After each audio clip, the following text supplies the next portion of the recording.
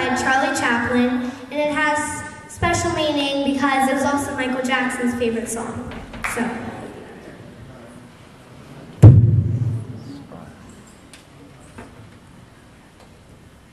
Smile, though your heart is aching.